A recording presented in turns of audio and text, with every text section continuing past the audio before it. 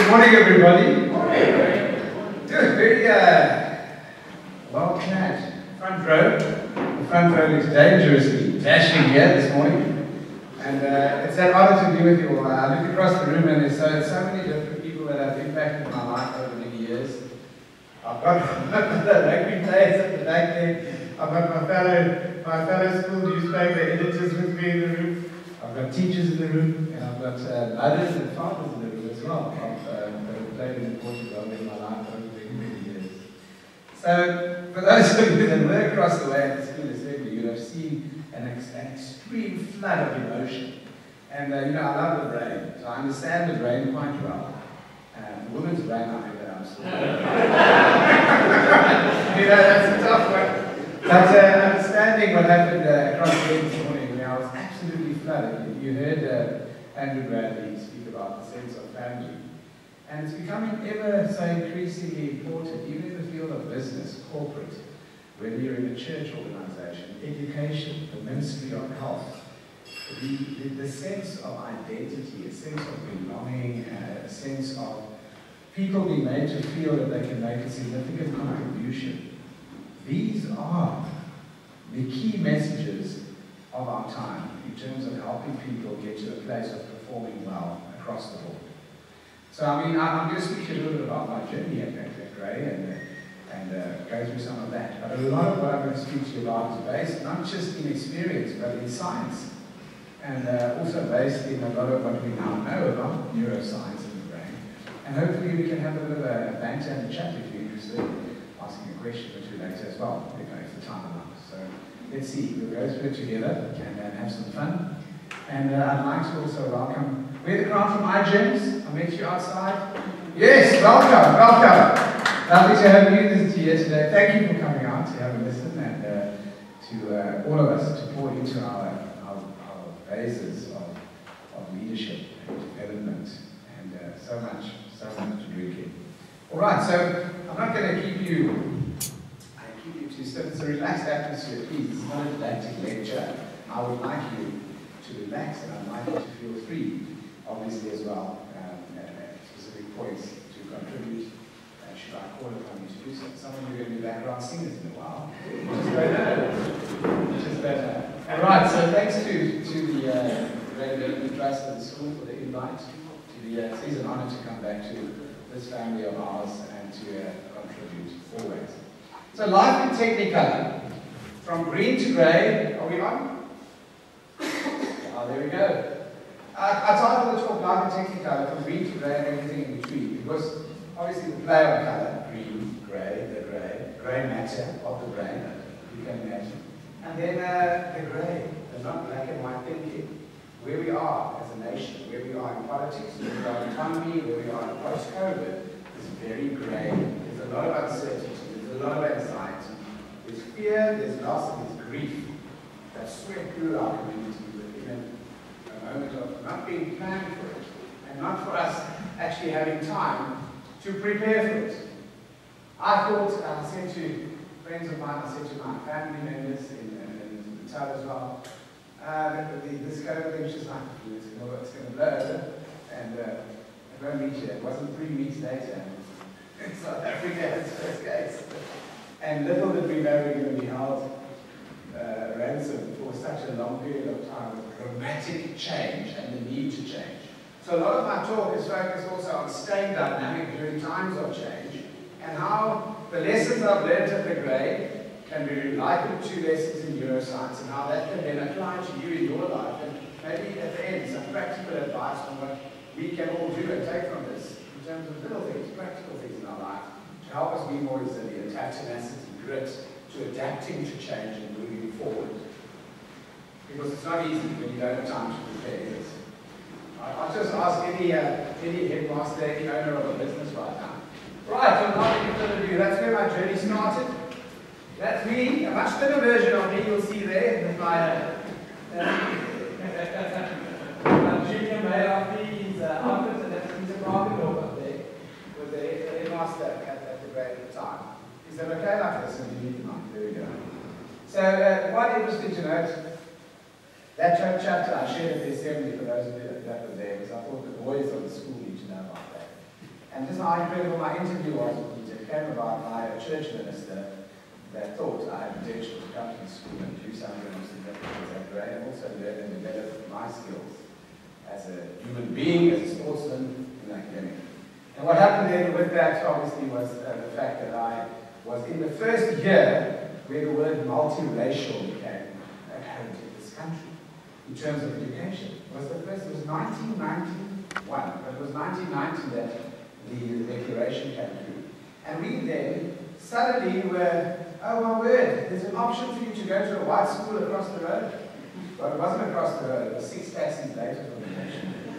And uh, while I was flooded with emotion as I spoke to the school the house, as I was standing there sharing the story of the journey boys of the school, I suddenly had flashbacks of what it actually cost us as a family to get Beauty Bay, my parents, etc., and that journey. And that's the story that a lot of my best mates in school that I hadn't even heard and knew about, that I played first in rugby with, and played rugby from under 14 right through.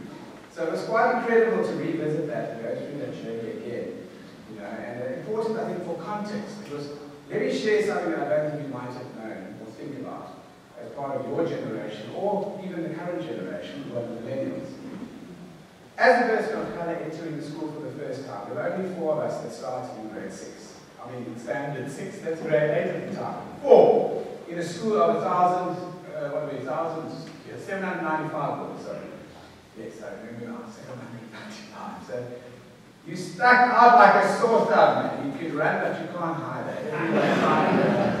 And people were watching you with a magnifying glass, I tell you, because everyone wanted to see what's going to happen. Can they handle coming from a different background of school into this wonderful institution, which is the grade?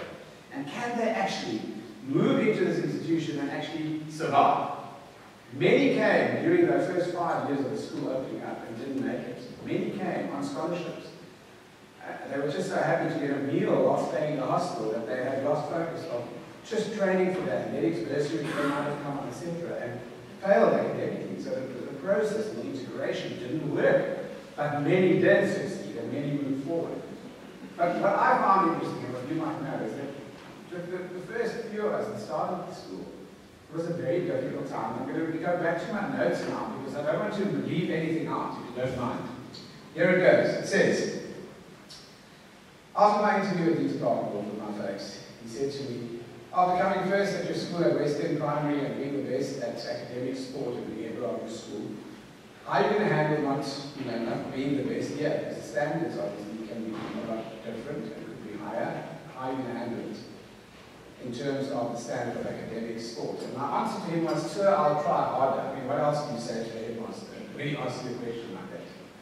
So that was the mentality. And but with that came a lot of pressure. You can imagine with the first group. Uh, pressure of being under magnifying glass all the time. The sad part was that the rest of the boys in the school weren't prepared for that. The rest of the boys in the school saw people of color coming to the school as a handout. They thought they, they assumed everyone coming to grade was on bursary. People that played rugby in my team thought I was on bursary. That's the only reason I girls over. Meanwhile, my poor parents couldn't afford it. They sold everything they had. We didn't have a house. I lived in a caravan behind someone's house on a plot in the northern suburbs of Port Elizabeth and took six taxis to get to school every day. And no one knew that. My friends didn't know it. One or two of the teachers knew because they made an effort at the time. But the mentality of judging or the sense of entitlement was the thing that hurt the most, I think, when you're trying to integrate society naturally. And that was quite an eye-opener for me, then you realize that people, when they look at you, they don't see you as a person, they see you as an experiment, really. And that's what I felt like at that time. So that's something that one never talks about for like 27 years, and yeah, back after 27 years, and now the climate is so wonderful that I don't feel insecure to talk about the wonderful changes that have occurred. I walk in the passages at Grey now and I hear God speaking Xhosa. And I, it's totally different. You know what? You can't find the token people are hundreds of right in the school And it's more balanced and integrated. So I look in the school and it's so weird to see people of color between, between the people of the grade. And why that's important, ladies and gentlemen, I think we can choose to, to focus a lot on how we differ from the people around us. Dalai Lama has a beautiful uh, way of approaching the topic of enhancing relationships and communication, where he speaks specifically about rather focusing on what you have in common with people as the common ground, and how easy that will facilitate new relationships and friendships. What do we have in common at the ground with the people that are there and attend school? Start with that dialogue and you'll see what happens. Very interesting to look at it from that perspective. Nevertheless, so I'm rushing through some really important things here, but I think you get the gist of what I'm saying.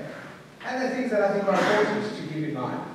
So I mentioned, uh, in one felt a bit like you were part of a church experiment at the time, everybody interacts, plays with a new toy, but really few want to get to know the intricacy and details of your life at the time. Uncomfortable topics were avoided most of the time, and everyone just wanted to fit into the system. And there you go. So that was quite interesting. But anyway, Enough about that. When we look at the schedule of entering that system where the opportunities leadership and skill sets and expertise, they were in this. I mentioned potential and possibility being a really big thing for me when I attended school. There were opportunities from 5 in the morning, uh, practicing your kicking, because I didn't have the first team kicker in my final year. Robbie, remember? Yes. We didn't have a kicker, we didn't have a class that could kick and we found in uh, yeah. uh, I had to kick uh, I had to kick for balls in my matric year, so instead of nine games, instead of nine, I had to start practicing. And as a wing, Kicked for the it was a need, and we developed it more. But five o'clock in the morning, there'd be days when involved with that. One of the only ways to meet girls was to go to ballroom dancing. The great collegiate socials happened like once every how many, three, four months. And Bryan Adams would come through it, please forgive me. No, no, you didn't know where to put your hands when you danced. It's just so, so, nervous, it was so exciting. Well, your eyes are sparkling. So, yeah, I, look back at that and I think, what was the neuroscience behind all that? And then you realize, oh my, that's the common ground. We all have hormones. We all go through changes and beautiful challenges in life where we, that's where the memories come in. And we had so many laughs around that. You know, if someone went through a tough time and pain, we go through it with. But vulnerability, as I'm discovering with leadership, is something interesting. I grew up in a very involved in the church, a very happy, clappy church, here in Port Elizabeth. And I'm still very much a happy, clappy kind of guy. But the difference is the following. I always thought it's a sign of weakness to show vulnerability as a leader, as a manager, as a senior person. But in a world where people can fake it till they make it, in a world where everyone lives according to what they see and feel on Facebook, we're in a place now where the genuineness of people's experience from which they speak from shouldn't make them weaker in people's eyes. In fact, it should make them more credible and make them more believable, more real to connect. And I think that's something really special that in my life, I'm trying to teach and impart to my children right now. My boys are turning 13 next month, and my youngest is 10. So I try to impart the same to them as well. So I hope that makes you think just a little bit about that component. So how did this great ethos then, let's move on quickly. I'm getting stuck into you uh, that I'm forgetting about the talk. There we go. Start moving.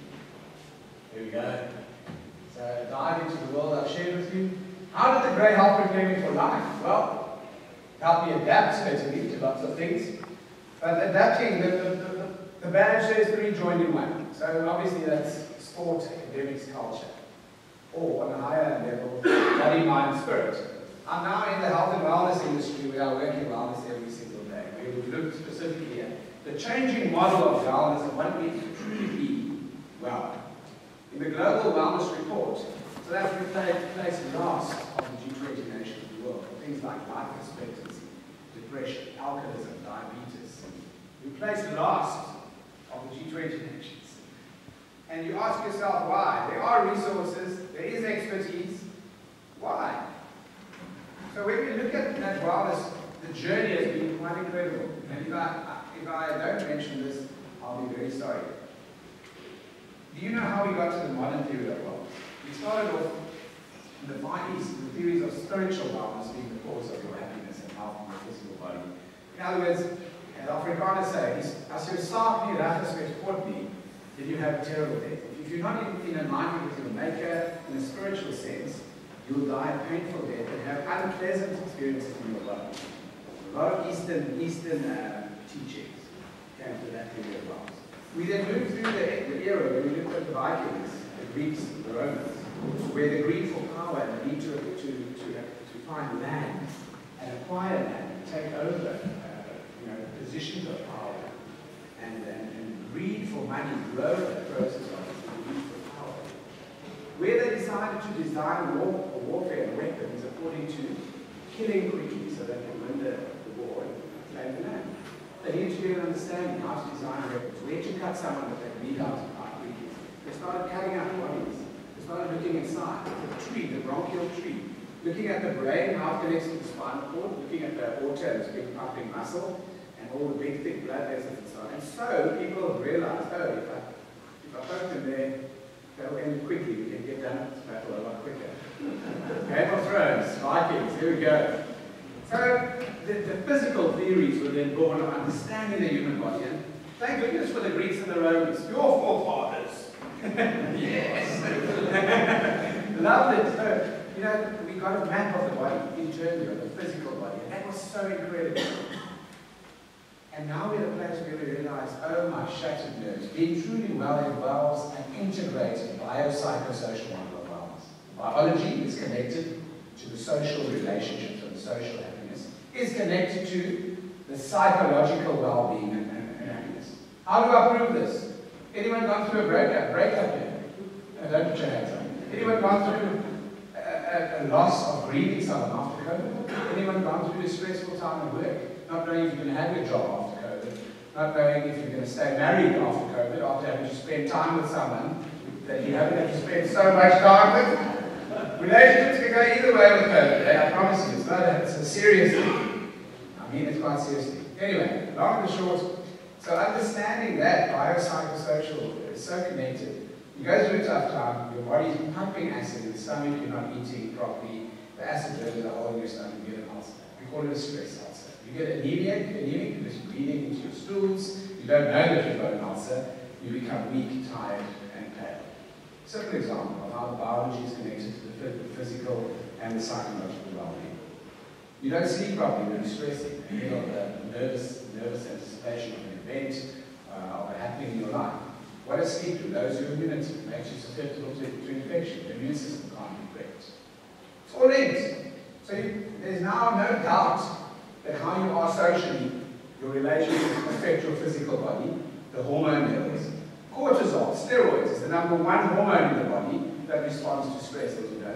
What happens if you feed someone synthetic steroids? My rugby players? no, none of the brave boys take steroids, of course, no. So understanding that steroids, besides causing testicular atrophy, can lead to a lot of other medical problems, like water retention, Cushing syndrome, swelling up, etc., etc. So steroids you make naturally in your body as you respond to stress. That's why chronic stress is bad for your wellness. You got the point? Biopsychosocial, very integrated, modern theory of wellness. That's where we're at today. Everyone happy?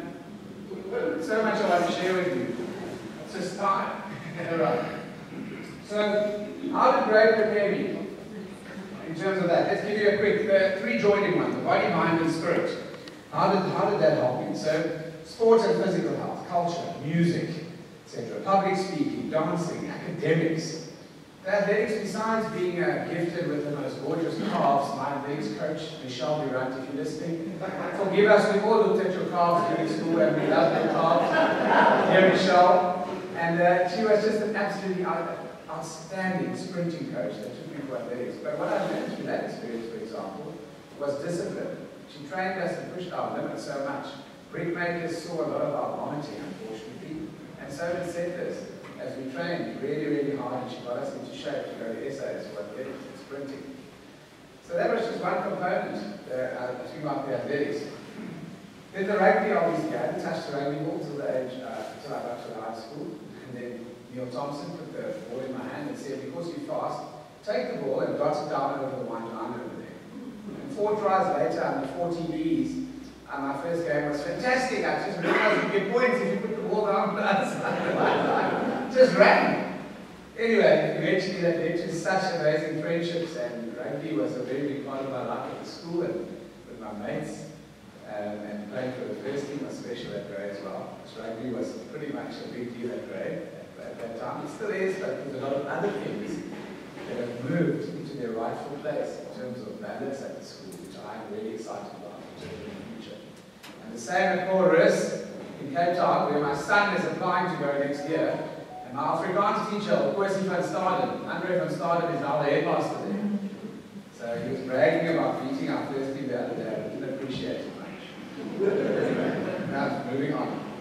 And then in the academic side of things, I mean, I remember so clearly, part of the inspiration of why I did medicine of the instruction and the passion I had.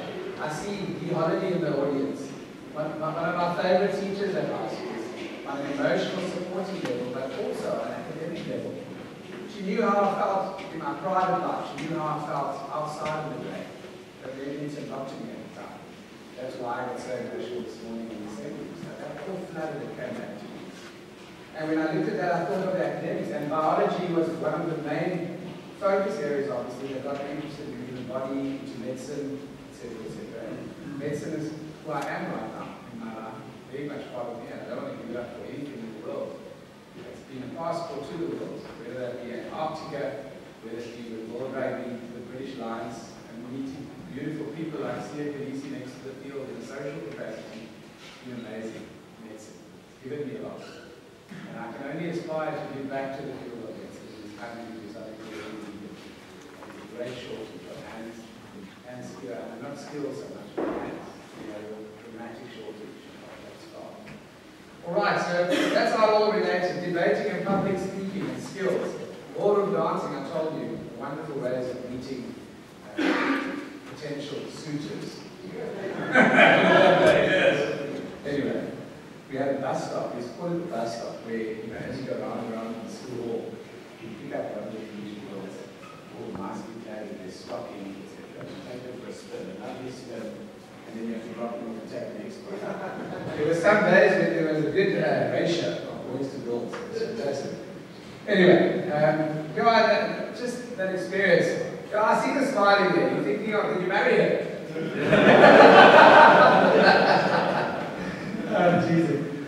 Anyway, so that was all good.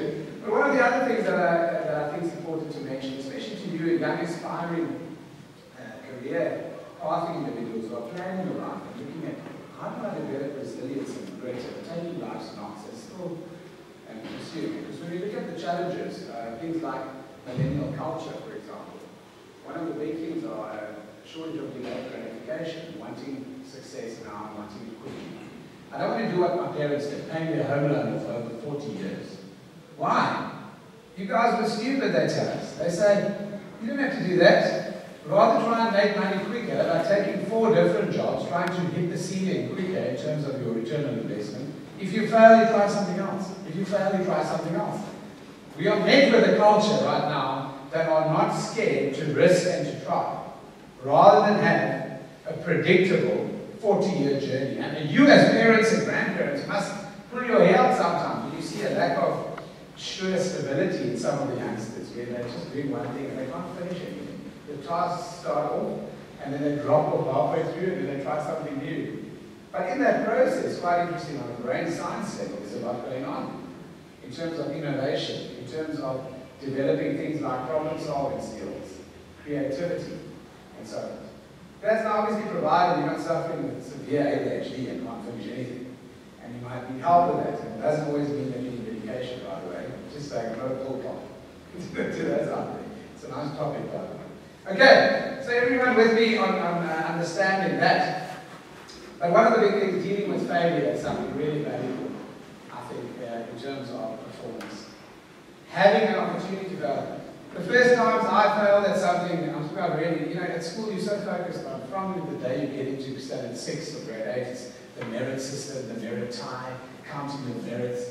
You remember that? And then you start thinking about, good grief, there's so many different accolades that you could actually work on. And you realize that, sure, I'm so busy with the accolades, I'm missing out just normal play. And a lot of children in the primary school sector and that foundation phase of learning currently, we're finding that not playing and having enough free time to free play, which facilitates other brain pathways in terms of you know, moving away from the structured environment, learning environment right, maybe there'll be a question or two on that a little bit later.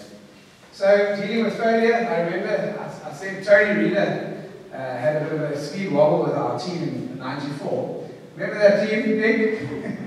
94 is a tough season, but all, all that everyone remembers is we beat Graham at Graham. Chaps Rock picked up the ball under the balls. I got an outside back from Barry, took the set on the outside. Uh, it was wonderful. It was wonderful. Before they do it, we looked at two tries down, and we had beat Graham Blue in of idea. That's all that mattered. We were happy. But in that year, as a coach, with all the critique, and geez, I'm so glad I'm not head of rugby or rugby coach at school in these important times. Just saying. Because I think they need some serious neuroscience.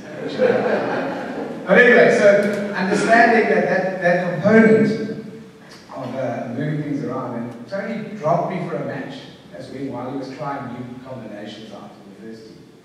I'd been playing, and I was like, where did that come from? I wasn't prepared to be dropped from the first team. I've been playing solid, I've got a good track record of my, my tries, etc. per game. What happened? And in the game I played seconds against you, I scored four tries, and luckily the Monday I got back into So, but it was such an important lesson because you don't really often learn to deal with failure young at school. I'm speaking about things that are really tough. And then when I went to varsity, uh, Rob Eagleson and I were studies and Marties and uh, playing rugby. I would love missing my 8 o'clock class to go to gym and two hours of gym in the morning and then maybe two in the afternoon. That's why I looked at the then. I had the first experience of what they call a Harry Valiero.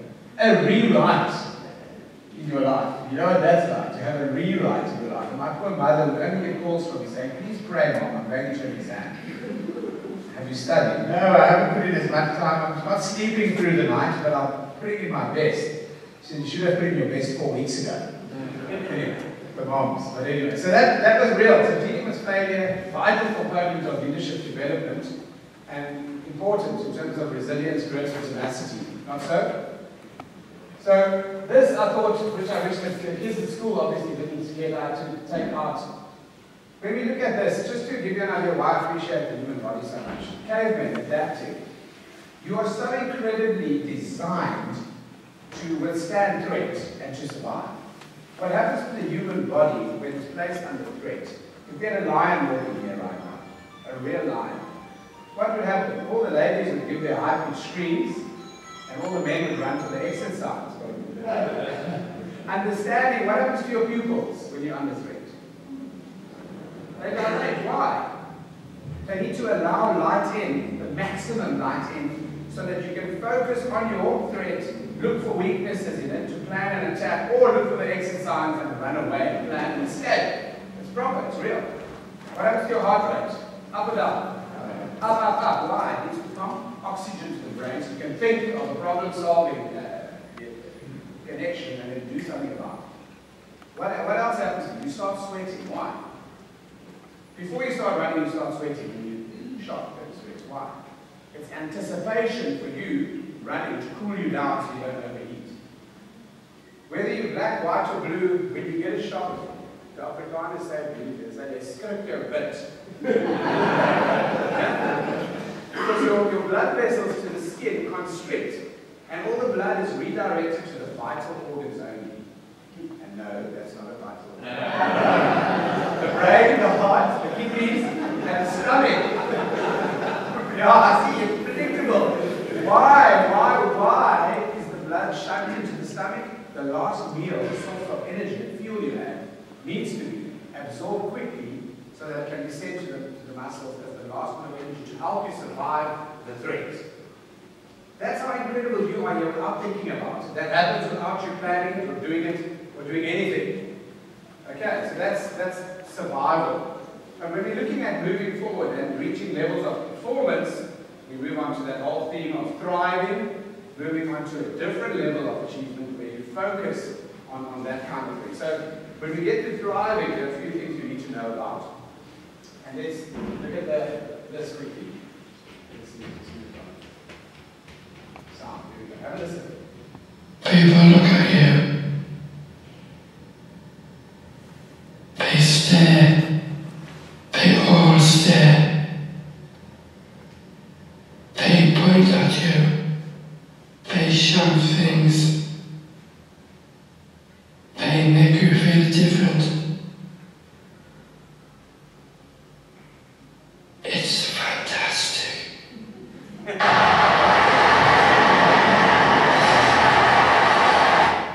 Amazing. No one saw that coming. I didn't.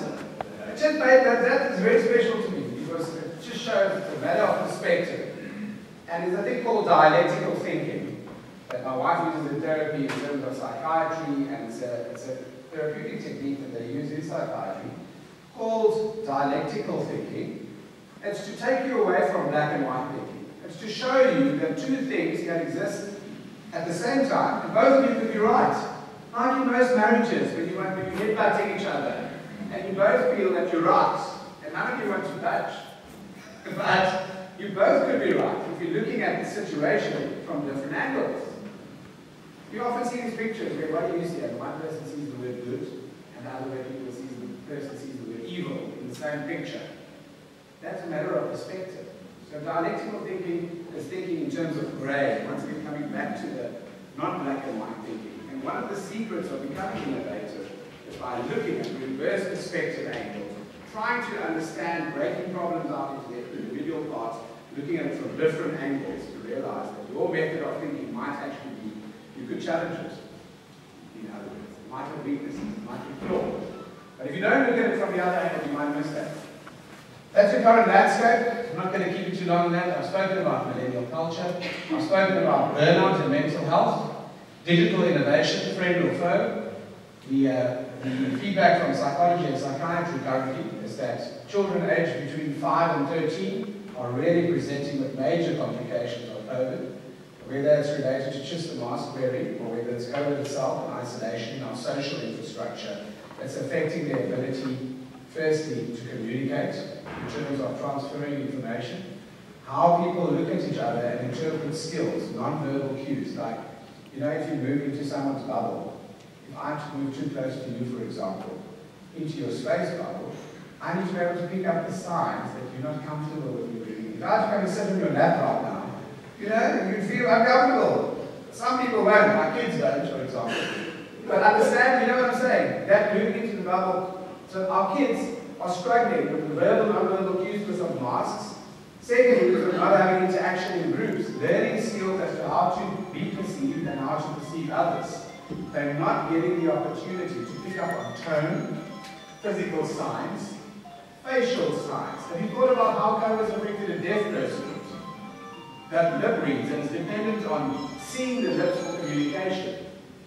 Incredible. So we can't afford not to think about that. That's also brought about by the 2D versus 3D strategies of communication. Tablet time, WhatsApp, tablet, tablet, tablet, technology. So the tug of war between using technology to our advantage and really letting it help us in, in education, because it certainly does a place, I can tell you now it does. But how to navigate that space to where it can become detrimental instead of helpful. It might do both. Might need to look at the type of child involved and tailor-make things for that specific child. But anyway, moving on. So, the paradoxical parent is something, this is for our educators in the room, teachers, and people like that. So, wanting the best for your child, but not necessarily doing what's best for your child. Yeah, the poor parents are under tremendous pressure, time-wise. We all are. I'm experiencing it in my own life. Time-wise, and one of the best your kids, control, conscience, and comparison. Parents to feel in control. They also don't want a guilt complex when they compare. But my, but my friends' children are at the private school. They've got their online lectures since the start of COVID. What is wrong with our Model C schools? I'm going to stop paying school fees. My kids aren't getting the education they signed up for, not so. These are the questions that come up. And that's why. Parents will be in control, they have a conscience, and they compare. Patterns and legacy, obviously, is a big challenge. We, we one of few boys' schools in the country. I think there are only child in the country of what, 28 or 18? 28, eh, in the country. And with that, you can imagine, so you've got different schools of thought to the advantages, disadvantages of having a single-sex school versus co-ed school. What's better for the brain development? What's better for achievement? What's better for performance? And why? So, you know, those challenges that the poor rectors and headmasters face, I think are significant, and that's why they need to be fueled with the latest developments, and, and they rely largely on the feedback that they get from, from yourselves as, as older generation, but also on parents, specifically the parents. And then, of course, managing the parents' expectations. So I just want to encourage the educators in the room and say you are not just an edu- you're not just an admin junkie, a pen pusher. Feels like that. Your inboxes just drive you mad. You're attending meeting after meeting after Zoom after Zoom. But the reality is, when I look in this room and I look at people that have influenced my life, you were that. You saw an angel in marble, like my Michelangelo did, and you carved and carved until you set them free. That's what the educators in our system are and what they mean to us. And I think we should stop shunting responsibility as parents onto the educators. It's hard. We're all under pressure. We've got time deadlines. We've got more work. We're struggling to survive in the workplace. And so a lot of our responsibilities kind of move over to the school bit. You know, that little cocky attitude, that little tone. Ah, the little tone I detected your voice there, young man.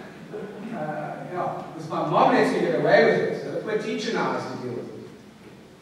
Tough, tough on teachers, really tough. All right, the educators, drawing to an end. Is she well or not? Yes or no? Sally, does she have wellness? What do you think? What do you think? Man? Well, you think she's well? Good. What makes you think she's well? She's old. She lived long. Yes. Huh? She's enjoying life. She had time to put the makeup on and the jewelry. At that. How many of you don't have time to do that? So many makeup ladies in the room here. So naturally, you just a bit of sunscreen with a bit of tint. Wonderful. Wonderful. So, yeah, the, the question is, does she have quality of life, for Tanya or not? And for her, she might have quality of life for what she's looking for. She looks like she's ridden the gravel road, sure. and those people, they, are they well? A lot of them work really hard. I showed it to the boys and they identified all the people in that picture. And this is very important. As my closing remark, I know that some of you have to go. If you have to go, I fully understand. But I have to be complete and round this off well. This, uh, my friends, is the drivers of brand performance. This model was designed by Neurozone Global. One of my friends is actually the CEO of the company, uh, and it's an incredible portrayal of what I think is so simple to teach people what drives brand. And it, it divides it up into four groups. You'll see at the bottom here, foundational drivers, these green things, emotional drivers, blue things, and then the orange over there, higher order. The foundational stuff is the exercise, nutrition, sleep, silencing your mind. That's the mindfulness and you know, uh, meditation, selective attention. Then you move on to value tagging, and that's the social brain. And then the last one over here is the high order drivers. Executive function, learning, abstraction. So the confines of this talk, I can't go into all of that, but I want to show you that you can't move on to these outcomes of performance. I'm speaking about learning, abstraction, executive function, unless these foundational drivers are actually being met. The nervous system is designed in a way that if you're not sleeping properly, you're not going to be able to concentrate and build memory. Full stop. If you're not getting four to five sleep cycles, which are 90 minutes long a night, if you're not connecting your sleep cycles and sleeping through for six or seven and a half hours a night, you're not doing your brain a favor. Okay, if you are not, uh, for example, exercising and getting any form of exercise, you're not doing your brain a favor. Did you know that you can continue manufacturing brand new brain cells by doing specific types of exercise? And the big one, research to summarize, is HIIT. High intensity interval training. Up your heart rate quickly, get it up quickly, like fartlek, we used to run between lampposts. Sprint and then walk. Sprint and then walk.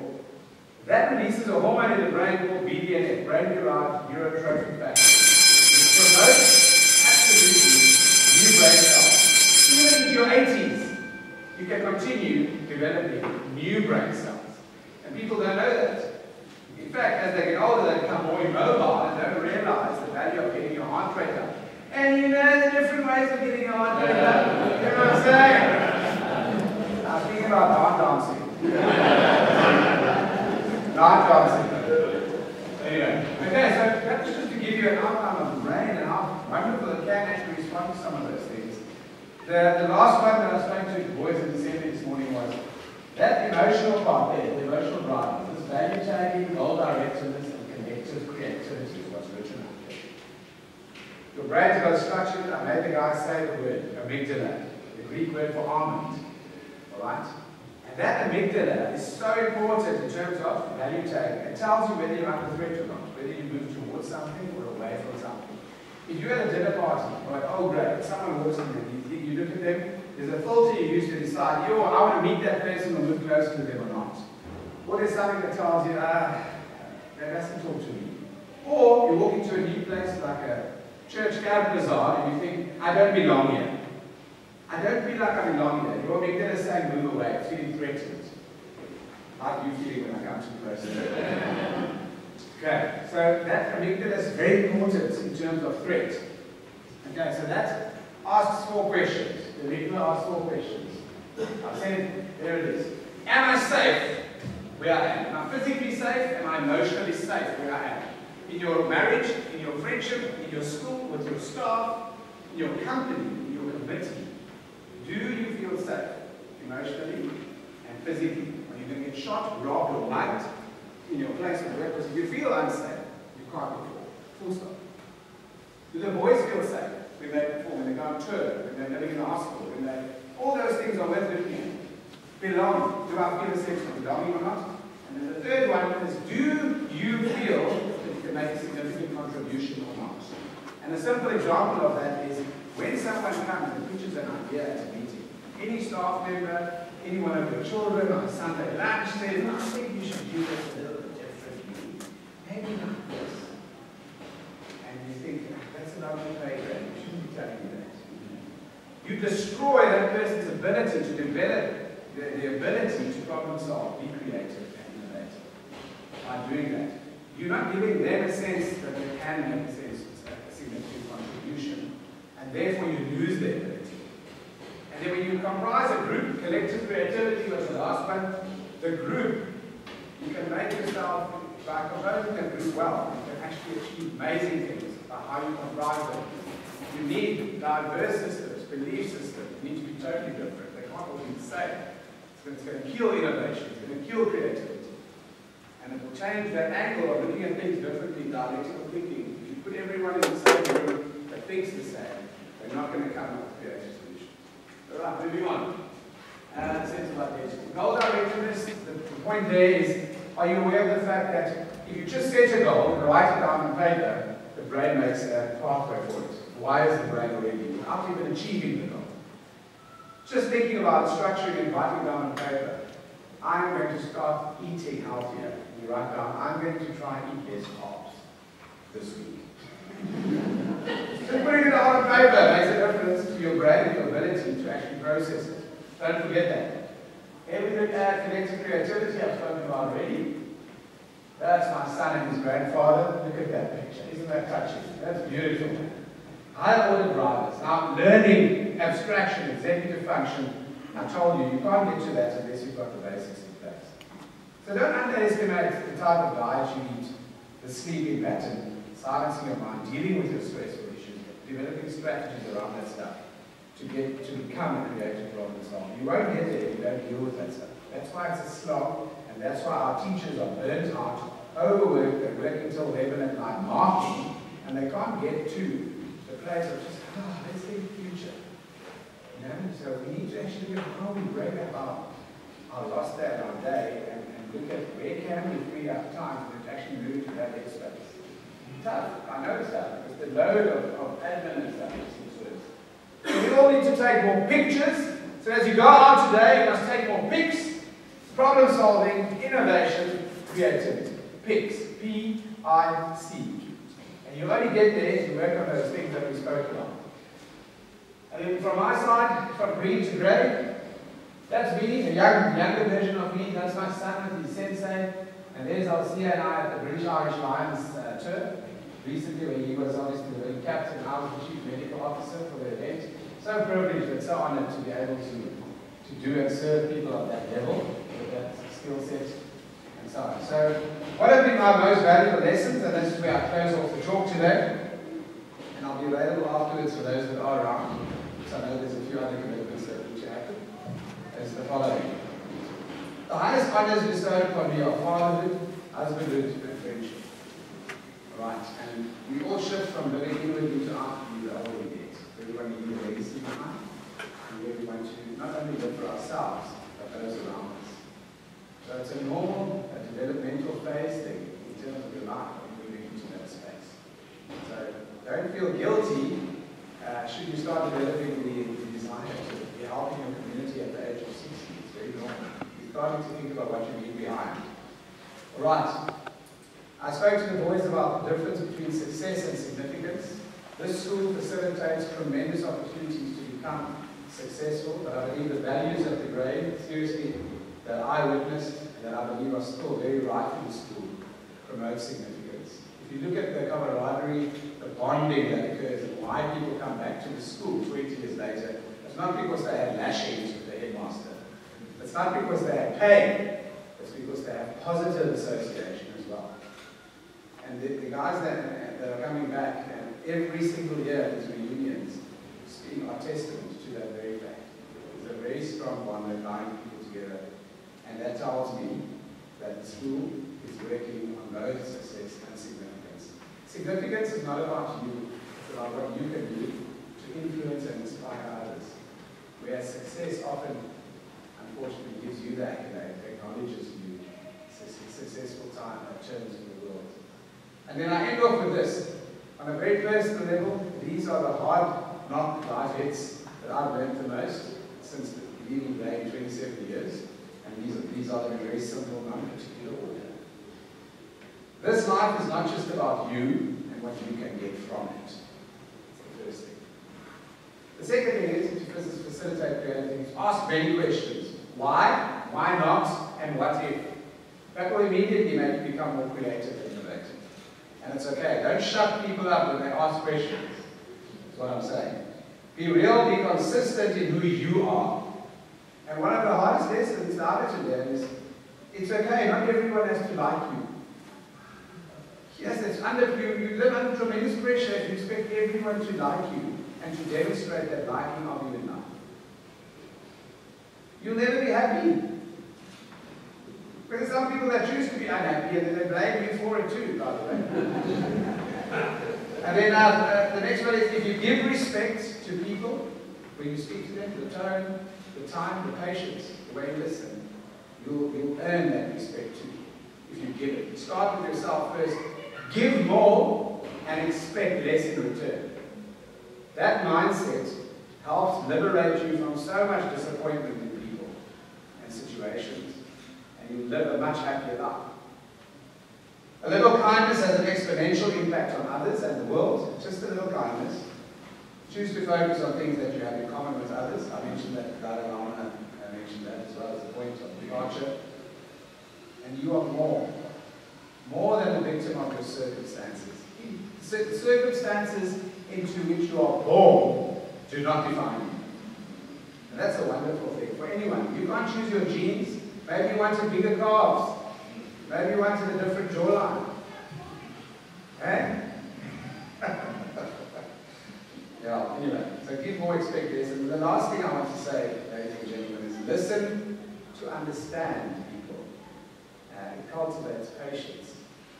And from patience, you can learn so much. So I hope there's been something for everyone in today's talk, and I hope to give you a glimpse into some wonderful developments in neuroscience and how it relates to behavior as well.